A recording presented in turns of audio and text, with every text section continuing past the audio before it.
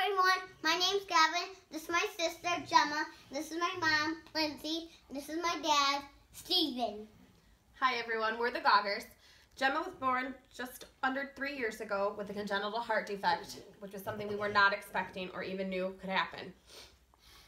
We'd like to invite you out to the American Heart Association walk events in Saginaw and Flint this year.